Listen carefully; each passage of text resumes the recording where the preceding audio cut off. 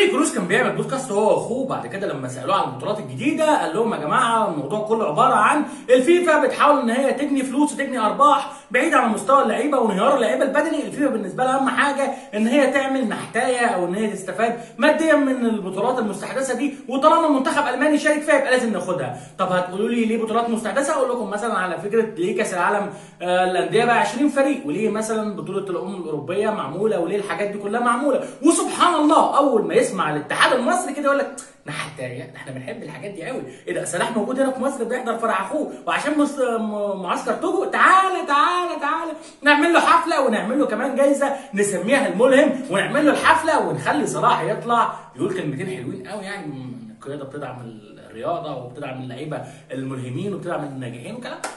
مش مهم. طيب أبو تريكة بقى فين اللي انت بتحبه؟ لا لا أبو تريكة ما ينفعش إن انت تتم ذكره خالص في الكلام ده. أبو تريكة إحنا في مشكلة بيننا وبينه سياسية. طب يا جماعة ما تقولوا إن القصة كلها قصة نحتاج ما تقول إن القصة كلها قصة بس المشكلة كلها ليفربول لما عرف إن أنتوا تعملوا حفلة. لسه راح قال لكم تعالوا هنا في الإجراءات الأمنية والصحية الخاصة باللاعب بتاعنا. مفيش حد يسلم عليه اللاعب بتاعنا مش متاح ليه إن هو يسلم على أي حد حتى وزير الرياضه عندكم. ما ينفعش. وإلا كده صلاح مش هيوافق وليفربول مش هيوافق على الحفلة. فاضطروا إن هم يجيبوا الكوادر والعمالقه المصريين من اللعيبة ومن الصحفيين ومن الإعلاميين. كلنا هنقعد بس في المقابل كلنا ممنوع لينا إن إحنا نلمس صلاح عشان خاطر دي إجراءات احترازية وإنجلترا مليانة كورونا والدنيا بالنسبة لهم ضايعة خالص. فما ينفع- ما ينفعش إن إحنا نتعامل مع صلاح معاملة اللي إحنا بنعملها هنا في مصر. وتعالى ابن بلدي في حضني وتعالى يا صلاح يا حبيبي وتعالى ناخد صورة إحنا والعيال وتعالى نعمل الكلام ده. بقى بخ.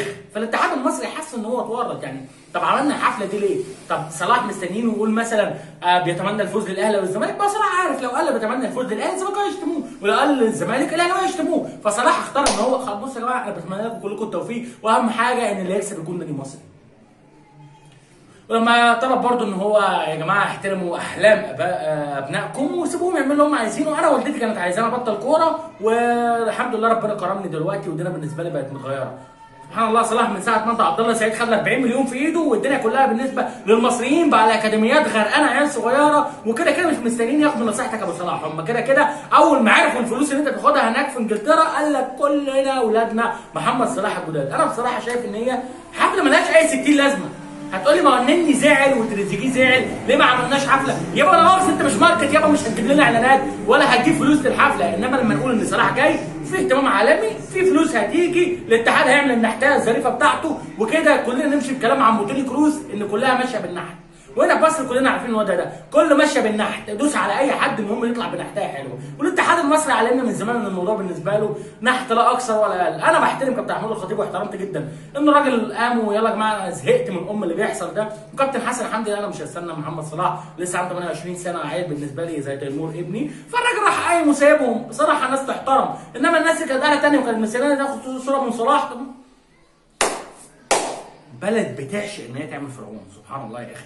وكان في مجدي عبد الغني اللي هو وأنا صلاح وأنا صلاح يخرب بيت ام كده الله العظيم الواحد قاعد في البلد ده عشان خاطر يضحك. إحنا نعيش ونموت وإحنا بنضحك على الحاجات اللي بيعملها الناس دي. اللي هو يا جماعة قلت لكم من ثلاث شهور إن البلد دي ما فيهاش أي حاجة اسمها آه اسمها اللي هي اللي بيقولوا عليها مثقفين دي اللي هي النخبة. البلد دي ما فيهاش نخبة. لا في رياضة ولا في ولا في فن ولا في سياسة ولا في أي حاجة. هي ماشية كده بنور الله.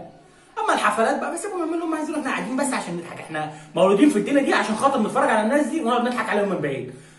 أنا شكلي اقضيها القناه دي كلها ردود افعال والله. ما الحاجات اللي بتحصل عندنا في مصر دي لا تتعلق بعالم كرة القدم اطلاقا هي تتعلق بالضحك والمضحكة والناس دي ربنا يخليهم عشان خاطر ضحكونا غير كده مش أي حاجة خالص لا بيهتموا بمنتخب ولا بيهتموا بأي حاجة وحتى كمان ملبسين صلاح الليلة كلها بتاع المنتخب بحيث لو المنتخب حصل له أي حاجة ما حدش يرجع يعاتب. اتحاد الكرة على اختياره لحسام بدري أو حسام بدري على اختياراته للعيبه ويعاتبوا صلاح بما إن صلاح هو الايكون والملهم والنجم الدنيا. حاسس إن صلاح بيضحك عليه والله أكتر ما هو بيستفاد من التكريم ده.